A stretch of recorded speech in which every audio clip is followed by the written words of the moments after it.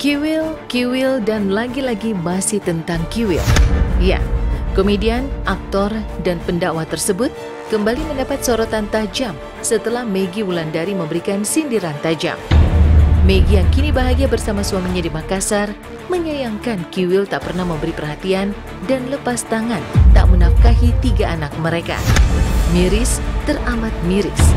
Benarkah Kiwil yang kini nyaman tinggal di Bandung bersama istrinya Fenty Vigianti tak lagi mau peduli pada anak-anaknya? Bagaimana bisa Kiwil tersenyum bahagia menikmati sukacita bersama Fenty kala anak-anaknya tak mendapat nafkah dari dirinya sebagai sang ayah? Lantas bagaimana dengan anak-anaknya dari pernikahannya dengan Rohima?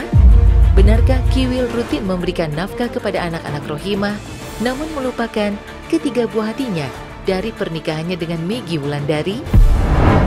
Dalam sensasi kontroversi, inilah kisah Kiwil yang diduga terus mangkir dari tanggung jawab hingga Megi Wulandari beri sindiran tajam.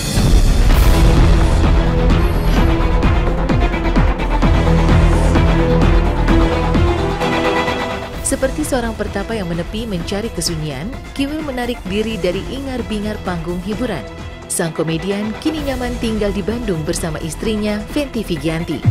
Wajahnya nyaris tak pernah lagi muncul hilir mudik di layar kaca seperti dulu. Kiwil pun tak terdengar lagi melakukan zigzag mencari cinta yang baru.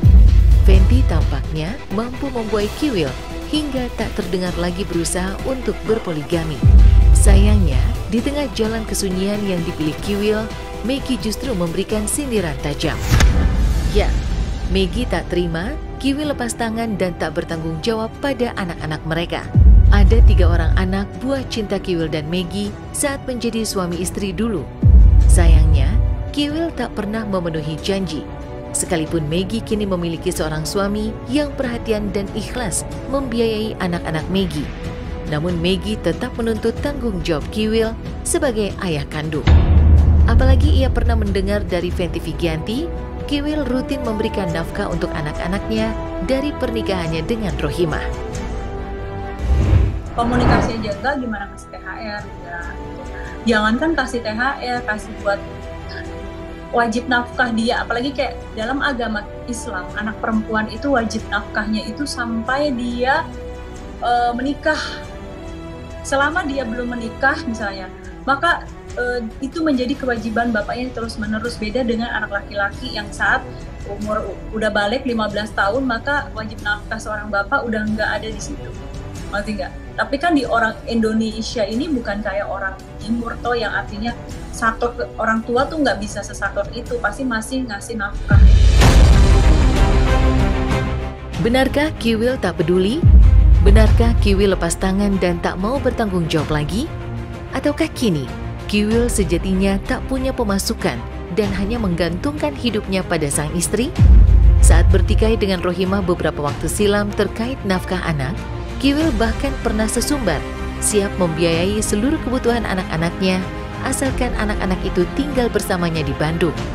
Kalau udah nggak sanggup sama anak-anak, anak buah kemari, saya akan urus semuanya. Sepuluh orang saya akan urus semuanya. Ya. Tanggung jawab saya. Saking lelahnya menantikan nafkah dari Kiwil untuk anak-anak, Rohimah bahkan rela menjual rumah dan tinggal di hunian baru yang lebih kecil lagi. Ia juga berusaha meraih rejeki dengan berdagang.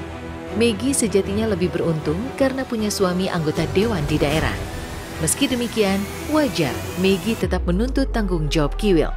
Sang mantan suami tampaknya sudah terlanjur bahagia bersama Fenty hingga lupa kewajibannya memberikan nafkah kepada anak-anak kalau dikatakan Bang Kiwil sosok ayah yang tidak bertanggung jawab, ya iya. Gitu maaf maaf banget punten ya gitu. Artinya ini tolong kenyataan. Ya semua semua mantan istri pastilah seperti itu. Yang penting buat anak-anak ya kan?